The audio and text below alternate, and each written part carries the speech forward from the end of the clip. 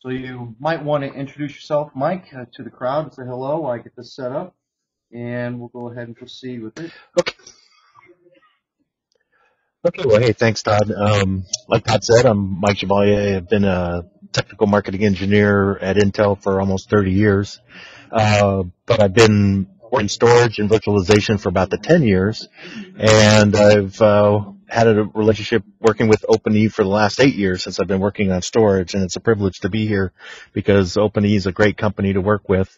Um, what I do is I work in what's called ESA, and in ESA at Intel, we uh, work with third-party ISVs like OpenE to come up with essentially a recipe that shows uh, that you can download from our website that allows you uh, essentially we OpenE defines the uh, steps and instructions of how to load the software on top of our servers, and then we validate those servers to make sure that they're tested and uh, working so that when you download the recipe and install it, you know that uh, you have a uh, tested platform and software solution. Uh, Todd, I can't see the foil, so I don't know if Hold they're on, not sharing it what's or. going on. Thanks. Let me find out what's happening here. Um, reshrink it. Times that find out. Like there's a delay. One second, everybody. See if that comes up again. Yeah, so I can see it on my screen now. Um, let me adjust something. Yep, there it goes. For some reason, it's just give me a second. There we go. Okay, sorry about that, Mike. Thanks for letting me know. Can you see Oh, that okay, now, there we go. Okay, great. Yes, I can. Thank you very much. Okay, so uh, for Live, uh, launched our uh, new server-based products, um, based, uh, essentially our Romley platforms earlier this year, and we've uh, essentially have a we've come out with a array of server solutions to meet different needs in the storage market. Um, the first part is just general servers that have a lot of storage. So we have uh, essentially, if you're producing an entry storage server for direct attached storage, where you have the storage uh, on the server itself, and you're not necessarily connected up to an external array, uh, that's a popular option for small and medium-sized businesses. We also uh, build a, a variety of uh, different uh, form factors. So we have 1U, 2U servers, as well as uh, you can, once you you know load a storage solution like OpenE on our products, we also have uh, test out external storage enclosures that you can connect up to our array controllers if you need to provide a scalable, expandable storage solution that hooks up to external JBODs. Um, so for the majority of our customers, or a lot of customers, uh, use OpenE for a SAN or NAS solution, where you have a scalable storage solution where you can, you know, expand uh, to meet whatever the needs of your storage. And you know, for scalable storage, you you know, for high performance computing or virtualization markets, uh, we have servers to meet those needs. As part of the uh, solution that we come out with, we have uh, essentially uh, Intel RAID cards that we sell, uh, as well as plug-in I/O modules, so that you uh, preserve your I/O slots and you don't have to use them up for a RAID controller. We have these plug-in I/O modules for adding RAID controllers or adding uh, external networking, such as 10 gig E, uh, which is critical in uh, storage solutions as well. And then we have a modular. So yes. Uh, didn't mean to interrupt you. Um, the I got one uh, a couple of people asking if you could just move the mic a little bit uh, away. We're getting some pop Closer. That Okay, how's that? Uh, Is that better? Copy. One more. Okay, how's that? That's better. Great. Is that anybody else Okay. have problems? Let us know. Thanks, Mike. I think you left off with the 10 gig E um, module, which we're probably going to go into. But uh, go ahead, buddy. Okay, no problem. Um, yeah, if I start breaking up, let me know. Uh, but anyway, um, yeah, so we also have uh, a solution for what's called the Intel Modular Server. The nice thing about this is we go into a lot of uh, uh, educational markets as well as uh, hospitals where you have a remote branch solution or remote branch offices where you need everything integrated and we have a, a SAN array that's uh, local on disks. Then we have up to six server modules and network built into the box. And we use OpenE as a solution that you can load up on one of these servers and essentially turn that internal storage array to an external uh, iSCSI target that you can connect up and back up those uh, any type of uh, servers that you have on the box, or if you have uh, VMs loaded as well. So that's a popular solution for remote branch, and we, like I say, we use OpenE for that storage solution in that space. So next foil. Sure. Uh, one said the voice is still a little loud and clipped. Probably um, we'll get to the next screen. Let's see. Maybe turn on the speaker a little bit. Maybe that'll work. And uh, to actually turn down the microphone. See if that works a little bit. Okay. Thanks, Yeah, let's go ahead and do everybody. that. Um, Is this like better? Another person's voice is still a little ch- loud, choppy. Um, they're saying it's a little bit better now when you said okay. So we'll just keep working. Is that better? Sometimes what happens is the packets are getting crazy on our both our ends. Go ahead, Mike. Is that better? Or? Yeah, I think it's better. Okay, I turned down both uh, both the speaker as well as the microphone. Okay, so uh, like I said, we launched a series of uh, Romley motherboards and platforms uh, early this year. Uh, the three main ones that we targeted for uh, the storage segment is Canoe Pass, Grizzly Pass, and Iron Pass, and I'll explain what those capabilities are. But when you look at our uh, storage solutions in general, uh, we uh, target for high quality so that uh, when you buy the servers, we do a lot of testing internally, both at Intel and OpenE to test out our storage solutions as well as our recipes. Uh, we also have, uh, with the new product, a lot better I/O uh, in general. So we've seen uh, performance boosts in for people deploying storage solutions with our new Romley products. And the other thing that we've added for uh, our Romley servers is a um, longer life. So you can actually get, traditionally our warranty has been three years, but you can actually extend that to five. So uh, for storage solutions, that's pretty critical. Some of these storage arrays will sit in your data center for quite a long time. Um, that's- that's a- but the three, uh?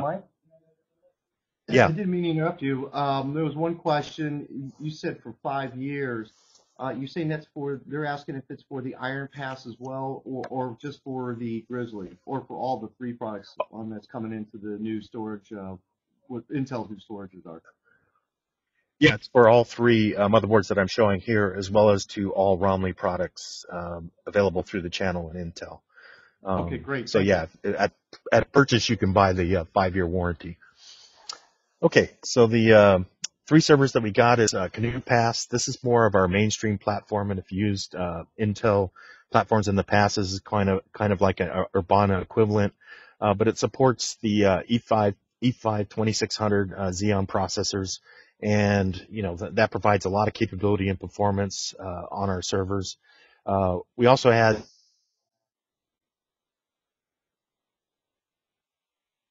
uh, support for up to 60, but you, you can actually go with the Grizzly Pass. Uh, but the other uh, nice thing is more for our, for storage purposes. It has 48 uh, Gen uh, PCIe I/O lanes uh, for storage solutions. Um, but if you need more I/O capability, you would go with a Grizzly Pass or an Iron Pass. So as you look from left to right, as far as performance is concerned and capabilities, uh, as you go to a Grizzly Pass and an Iron Pass, you get more capability, either um, expanded memory or expanded I/O. Um, so the Grizzly Pass is uh, the primary platform that uh, we're working with OpenE to deliver a storage solution for, and it essentially has a lot of memory capability. Um, it fits in a. We have a also 1U and 2U chassis, but primarily going to talk about the 2U chassis solution today. Uh, but it's our uh, you know technology showcase board and one of the primary boards that we think will do well in the uh, storage market. Uh, but this uh, product has up to 24 DIMMs, so you can maximize it. It's good for uh, um, storage solutions, but it's also good for virtualization. One of the nice things about if you use a Grizzly Pass, you know, 2U uh, solution for storage, you can also use the same server for virtualization where you need a higher memory footprint. So that way you have one server that you service as opposed to having two different separate uh, solutions for both storage and virtualization. So that's certainly an option. Um, Mike, as far as I/O capability, yeah, go ahead. sorry. Um, sometimes there's questions that come up. That one question is on the memory. Uh, you've got uh, 24 DIMMs in there. Now, what's the largest? And of course, they're going in pairs. Um, what is the largest size, or what, what kind? What's the fully po- fully populated amount that you could use for memory on the Grizzly Pass? So Oh it be, gosh, uh, I don't know my. 128? Oh no, it's more than that. So I mean, if you use eight gig DIMMs, that's uh, let's see, I got to multiply it out in the top right, of my right, head. right, right. Uh, yeah, yeah. So the uh, uh, we also have on the THOL as new memory comes out of higher density. Uh, we also support uh, I think 16 gig as well. But as uh, memory comes out, we put on our THOL exactly what memory is supported. Um, so anyway, I, I don't think it's indicated here. I think it's indicated on the foils going forward. So I'll point that out when I get to it. Thank you. I'm just not good at math on the fly. No, no, no. Don't worry about Um, it. Yeah. Go ahead. You're good. That's it. Yeah. Oh, okay, good. And then uh, with Iron Pass, uh, this is a, a board that has maximum I/O support. So uh, it's used in two different cases. One where you have, you know, you have uh, storage enclosures where you need a lot of uh, plug-in cards like SAS expanders or uh, 10 gig E cards, or if you hook up to multiple different types of networks. Um, but it also uh, uh, has memory as well, but only 16 DIMMs compared to the 24 DIMMs for Grizzly Pass. And this one has uh, up to 80 PCIe Gen 3 or Gen 4 uh, and 4 Gen uh, PCIe Gen 2 lanes, so you get uh, maximum I/O performance in that configuration. So next flow.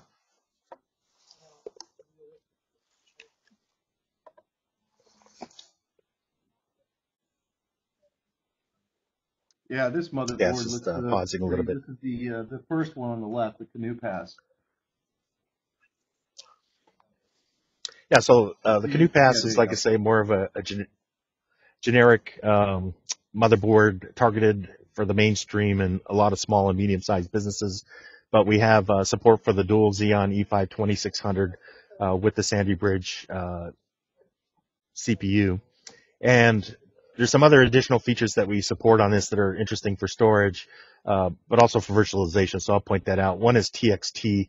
Uh, for those of you that uh, don't under, have it um, familiar with TXT, what it allows you to do is to check the, uh, it does a measurement of the BIOS and firmware as you boot and uh, make sure that there's no modifications to that so that if somebody tries to come in and hack and load a rootkit, for example, it would prevent, uh, you know, the system from, it would see that when it does the measurement and then you can prevent it from, uh, you know, booting, for example. Uh, the other thing it has is it has a E- eUSB connector uh, for hooking up uh, USB. So, for example, with OpenE or uh, more other storage appliances, or if you run any appliance software, you can load that onto USB and plug it internally into the board. Um, we also have uh, up to eight SAS or SATA ports uh, via two uh, SATA uh, 3 gig and 4 gig, I mean, sorry, four SATA 3 gig ports through the Patsburg chipset. But for most for most storage solutions that you can deliver with an OpenE, you're going to use a hardware RAID controller, uh, better for performance as well as, uh, you know, when something happens on the board, we have log files with the RAID controller to allow you to go in and debug what the issue is. With software RAID, you don't necessarily have that capability. And then for I/O, we have up to six uh, electrical, up to two double width uh, card configurations, depending on what you want to set up. Um, we also have a slot right six riser, uh, and in addition to that, we have a plug-in card for a six gig eight port SAS uh, rock module. So on our motherboards, uh, we have uh, I/O slots, but we also have the ability to plug in an I/O module so that you don't have to necessarily use up a PI, PCI slot for a RAID controller. You can actually just plug in the I/O module. And we also have I/O modules for uh, hooking up to uh, 10 gig Ethernet that you can plug into the motherboard as well. Uh, in addition to that, for server management, we have what we call our RMM4 modules so that you can manage the uh, motherboard and the system uh, on a management network on a separate NIC, for example. So you plug in the NIC and you connect up to your management network, and that would be independent of your uh, storage network, for example. Uh, in addition to that, with this board, we have integrated dual or quad core gigabit Ethernet, depending on which motherboard you tend to order. And then, of course, uh, we have up to uh, 16 uh, DIMMs for up to uh, 1600 mega transaction, transactions per second um, as far as memory bandwidth. So we have uh, really high performance uh, memory capability with the uh, Sandy Bridge and Romley platforms.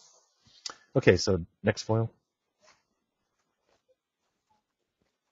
Now, this is the one we're currently certifying everyone, the Grizzly Pass, when I first was the system, and I popped the hood on it. Um, it was well endowed for sure. I mean, the memory socks, they filled it all up. Um, the, it basically, if you look at where number one and two is, and I'll let Mike talk about this board, but we started testing it, and we did find a significant difference in, in performance. Um, but we, if you look at where one and two is here, for the, uh, it's like a riser card where you put the um, SATA cards or, or other PCIe cards on that, but the um, the design was very impressive. And additionally, we have it with the 10 gigabit, um, oh, the add-on NICs that are in there. It comes with two of them. And I'll let Mike talk about that. But uh, I, will I'll probably get a photograph on this uh, top and bottom so everybody could see the ports and uh, see the system because we are going to be certifying it and we're going to be putting it on our website. So go ahead, Mike. It's just a very nice board. I was really impressed when we received it. Yeah, it's uh, going to be one of our uh, best-selling boards, uh, both in virtualization and storage, a lot because of the performance of the processors, but also because of the amount of memory capability that you have.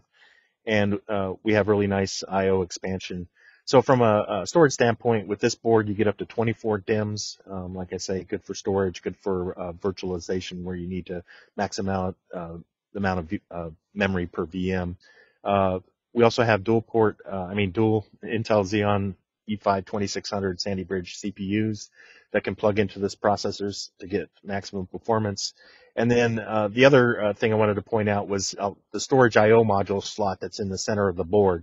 That's where you can plug in that uh, RAID controller where you don't actually have to use up a PCI slot for your RAID card. You can actually just plug in a, a RAID module on the board itself and saving a slot.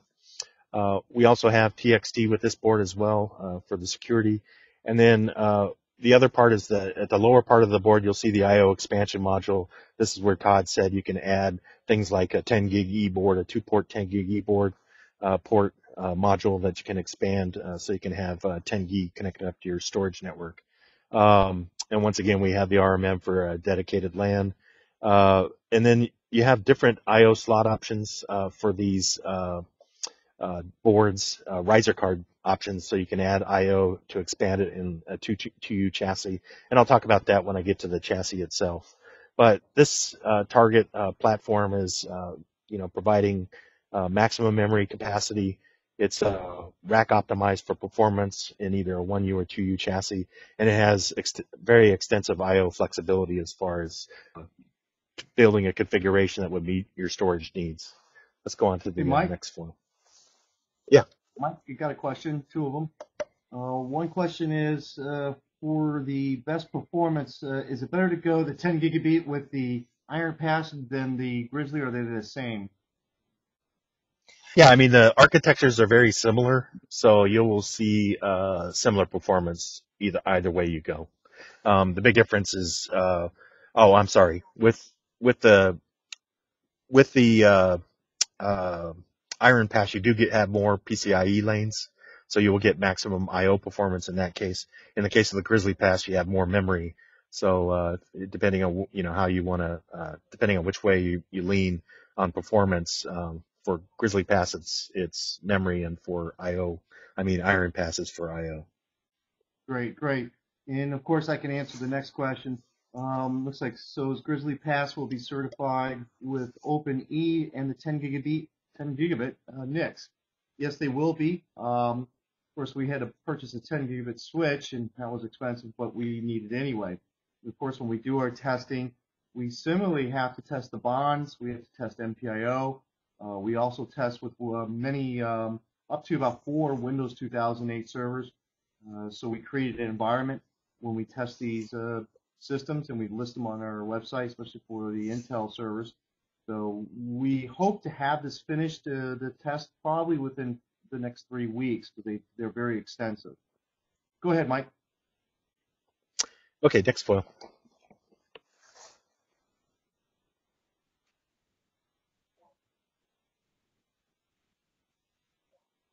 There you go. Okay, excellent. Uh, so the the other board we offer uh, you know, for storage is Iron Pass. So same CPU capability. You can add uh, t- two uh, E5 2600 processors. This also includes the eight, uh, the SAS Rock module. That's the plug-in RAID controller that you can add. Also supports TXT. Uh, the thing about this card is this is more for, uh, you know, where you're mounting cards, uh, vertically or up and down, uh, where you can add up to eight single width cards. Uh, we also have support for anybody in high performance computing for 4 by 16 double width cards. So if you're plugging in a, uh, uh, a GPU, you can plug up to four in this in this system. So it can be used for high performance computing op- options as well as storage. Uh, we also have the I, Intel I/O expansion module to add uh, 10 gig support, for example, and we also have the RMM module for doing remote management on the box as well. Um, so this one is really uh, targeted for uh, where you need uh, really maximum I/O flexibility because uh, you have maximum number of slots. Plus, uh, you have the ability to, uh, you know, you have more PCIe lanes connected up to the storage, so you get better performance as well. has a lot of flexibility on what I/O cards you can add, and we both have both rack and pedestal options as well. And um, so you can pick between the two, uh, whether you're rack mounting it or whether you're just in a small or medium sized business where you have a pedestal type option, uh, you have your choice of which one you want to pick. Okay, next Great. foil.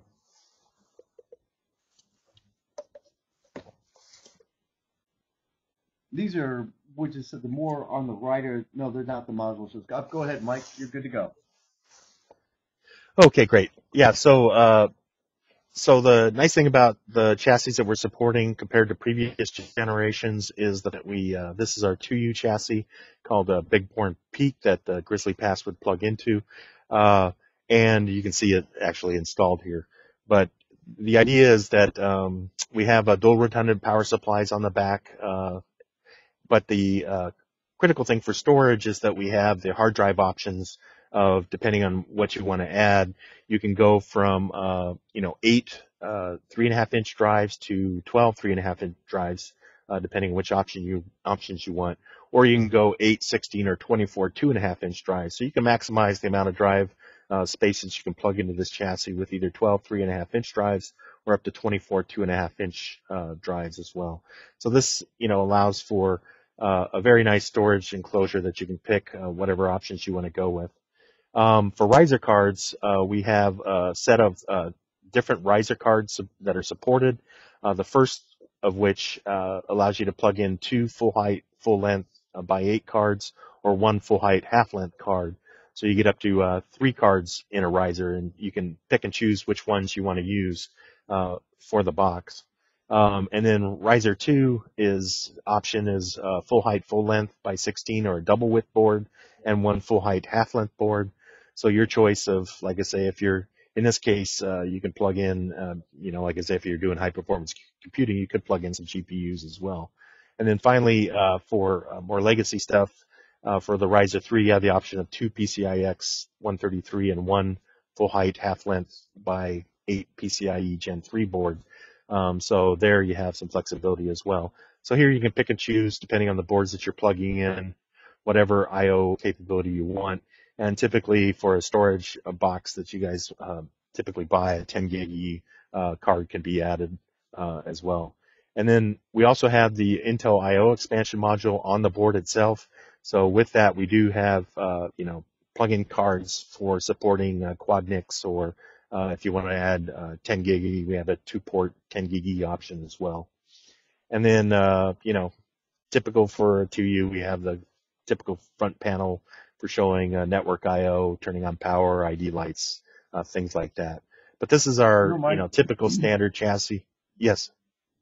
No, I wanted to inject something here. You know, when I, these new line of servers, I've noticed one thing, especially with the Grizzly, when we first turned it on, it was really quiet. It, it wasn't uh, as noise. The acoustic sound, the noise level was very, very nice. Um, it's interesting when you hear the older servers, uh, but when I loaded up both of these. Uh, it was very, very low noise. Very, it was very well done. So there's, there's something interesting. Yes. I, you, get, I, we talk to so many engineers that uh, when our engineers are talking to them, because we're used to talking so loud, because they're in the server rooms of the data centers, and it's very hard to hear engineers when we are working with them. Um, this was quite enjoyable to know that it's there and having the same power. So um, interesting. I, I, didn't know how you guys did it from your, your previous on the McKay Creeks in the previous versions, but this this was well designed. Yeah, based on feedback from customers on the previous generation, uh, that in some cases were loud. Uh, we worked a lot on the fan algorithms to, to cool the system, and of course the Sandy Bridge uh, processors because uh, they're uh, you know they're they're much cooler and, and, and run better, so they they can use uh, lower fan speeds the funny thing that when we started getting these servers, we actually had a hard time figuring out that they were actually turned on because before you could actually hear them. Now, in some cases, some of our servers are so quiet we actually think they're turned off, and so you off, you know, you'll have it turn, you know, you have the system off and you press the power button to turn it on. You realize that it's already on. I will tell you, we've already done that. we've we've actually go, is it actually on? And we we don't know, and we're scared to touch it. and We have to go up to the monitor to make sure. So yeah, it's very interesting yeah. how you guys kept it very low noise. Yeah, so it's a, a, pre-warning to you guys to check to make sure that look at the power buttons, sure that your server is on. it might be on. and yeah, uh, yeah, yeah we have it. Uh, okay. Okay, next foil. Yeah, I do all the time when I go to trade shows because I'll turn on a server and I think it's not on, and and then of course I'm rebooting, and you don't necessarily want to do that when you're booting up a system if it takes you know se- several minutes to load an OS or. No. Well, the boot time was faster on this. Okay. Uh, okay, sure. The uh, Intel RAID products. So we have a variety of uh, Intel RAID products that we've uh, developed for our platforms. Uh, so we have, uh, you know, for data protection options for RAID levels, we have uh, 0, 1, 5, and 6. And then, of course, you can uh, span to 10, uh, RAID 10, 50, or 60. And we, we fully validate each uh, option to make sure that it's tested. So you can, you know, ensure that the quality of our products are, are, are high. And uh, of course, with OpenE, they do a lot of extensive testing on their software to make sure that it works with our RAID controllers as well, so that you know that you get a high quality product when you when it ships. Um, the, the other thing uh, that we've added with our, I mean, we haven't added, but the RAID Web console uh, has a GUI that um, is built in that you can go Control G and access. But we've also added uh, some uh, a RAID Web console that allows you to go in and set the uh, RAID uh, RAID configuration as well. But typically with OpenE, you're going to go into the Control G and you know set it up before the BIOS boots, and then you know set up your RAID with with the OpenE software. Um, we do, have been getting uh, we've done testing on our RAID controllers and we get exceptional throughput the IOPS um, that provides industry leading performance. We have those benchmarks with the RAID cards uh, actually published, but the performance is really high on these cards. Um, the other uh, thing that we've added is to take advantage of SSDs, which obviously in storage, because of the increased read and write performance, you can get some really high uh, performance out of these systems if you're using SSDs. But uh, a lot of people, you know, you can't afford to necessarily populate your 24 drive array with uh, 24 SSDs.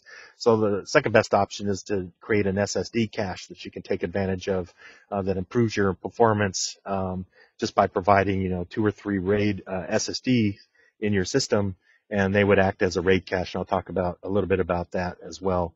Uh, the other thing uh, that we uh, do is we do uh, document and support our products really well.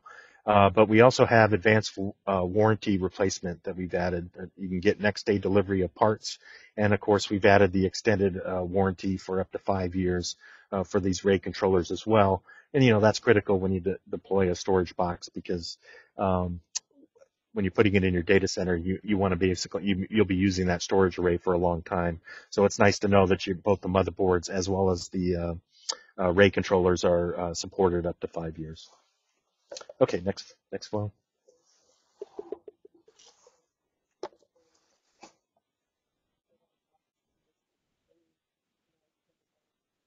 You should be good, Mike. Yeah, it's it's coming up slowly on. It's our Intel network.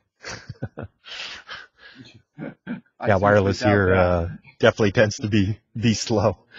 uh, I was worried about that that you actually wouldn't be able to pick up my voice, but um, okay. So for uh, RAID uh, for our RAID uh, solutions for our uh, storage solution, we provide you know reliable products. we also have capability for data protection, which I'll talk in a in a second. Very easy to use, and uh, the idea is to provide different levels of RAID depending on the performance that you need. So uh, for basic needs, we do have a software RAID option with our products that are uh, allow you to uh, set up a you know, SATA RAID 0, 1, and 10. But this is more for, you know, small and medium-sized business, not necessarily setting up for storage, but just want a basic server and basic RAID support. But for storage, um, you really want to move up to a hardware RAID controller solution, and that's what we use with Open-E.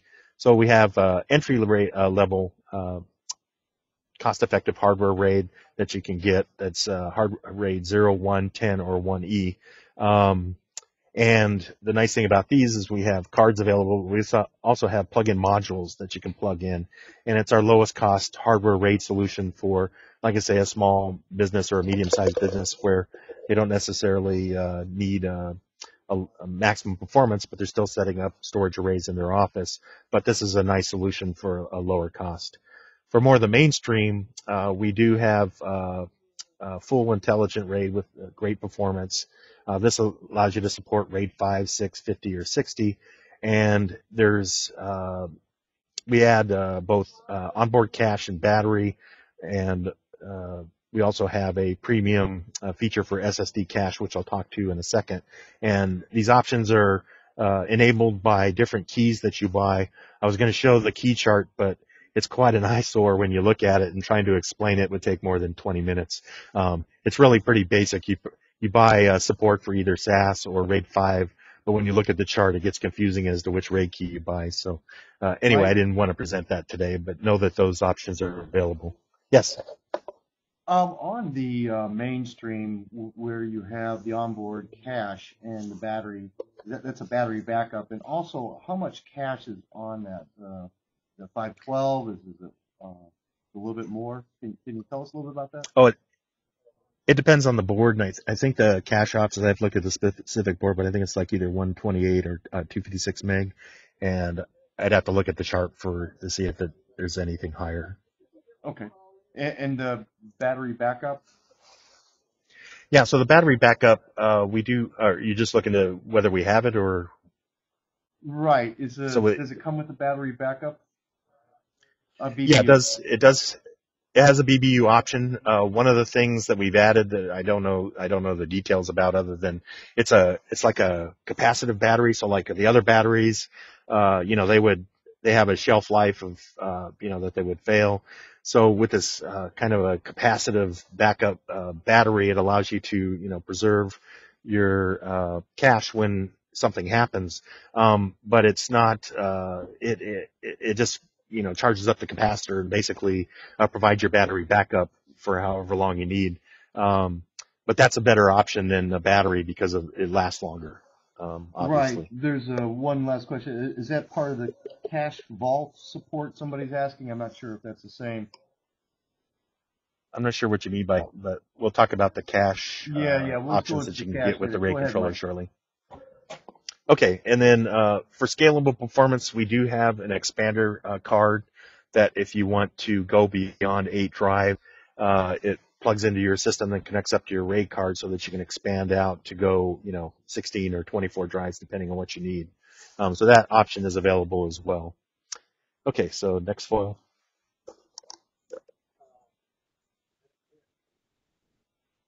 Okay, you should be up, coming up. There you go.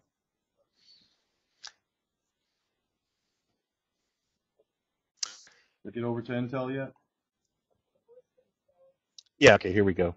Um, yeah, so for our, uh, we have, uh, for our mainstream uh, and scalable performance SAS products, we have what we call our feature keys to upgrade uh, different capabilities in the RAID controller itself.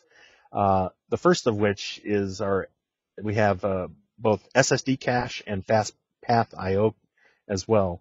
So in the case of SSD cache, this is where you provide some SSDs as you're uh, frequently accessing information. It stores it in the cache, allowing you to uh, actually go uh, locally to the SSD rather than having to go out to a uh, uh, uh, to the drive. So it provides a little bit bigger cache than you have internally to the card, um, and so improves performance when you when you add this capability. Uh, the other option is to accelerate SSDs. So if you're using SSDs in your in your solution and you want to deliver uh, fast performance, you can actually uh, go with FastPath I/O, where we directly connect the reads or writes directly to the uh, SSDs, kind of bypassing the RAID stack, so that you get uh, much better read or write performance as you're or going out to to your arrays. And you know that's a, a significant performance boost, and you know, like I say, you'll get up to 150,000 I/O reads per second. Um, the other option uh, for uh, our RAID cards is our drive encryption management. Uh, what it allows you to do is if you're using uh, drive uh, drives that are, have encryption capability and you have to buy a specific drive, uh, we enable the authentication key management for those self-encrypting drives. And the nice thing about that is if you do encrypt your data on your drives, if you get rid of them. A lot of the problems that you have in data centers is people get rid of drives and the data still remains on the drives. So this will prevent, in case by accident that you don't clear them out, that it actually is uh, encrypted so that those drives will not be compromised if you ship it or get rid of them and somebody happens to grab one and tries to get the data, it'll all be encrypted. Uh, the other thing uh, we've added for our drives is uh, we have a snapshot capability uh, so that, uh, let's say, for example, the usage model, it's not intended to be your backup solution by any means. That's what you use Open-E for.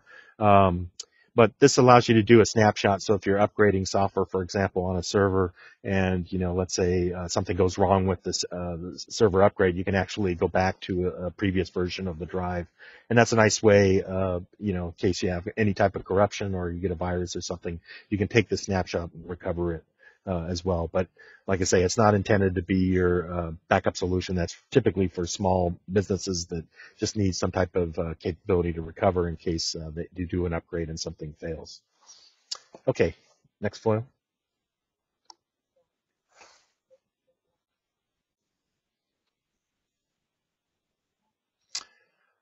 Okay, so for SSD cache, uh, this is a nice option, like I say, especially if you're hooking up to a you know 24 drive, two and a half inch array, and you don't necessarily want to populate that fully with uh, SAS or SATA drives. Um, I mean, with SSD drives, uh, you can add, you know, for example, like four, three or four SSDs into your array, and then you can take advantage of that by turning on the SSD cache, where it will use those SSDs as a uh, drive cache and then connect up to the rest of your array that would be SAS or SATA. And you get a performance boost uh, because of that, because you're making use of the SSD as a, a cache essentially, and then um, providing much, much better performance than going directly to the drive. Yeah, I okay, want to add question. something here. you know, sure. when we use SSDs, um, we use the Intel's uh, SSDs in the 320s, and we really did get some really great performance. Uh, what we want to warn everybody, and we're seeing this, and we've had a couple incidents uh, where they were only using one SSD, and uh, what you really want to do is have more than one, so you have some type of um, you know RAID 1 scenario or RAID 10 when you configure it, uh, because if you lose that SSD and something happens, you can have some issues there. Um, also, Intel makes uh, some real good SSDs. Um, I think the 520 series is probably the better performer as well as the longer lasting um, lifetime as well. I think, but you pay a little bit more, but it's worth it at the end. Okay, next flow.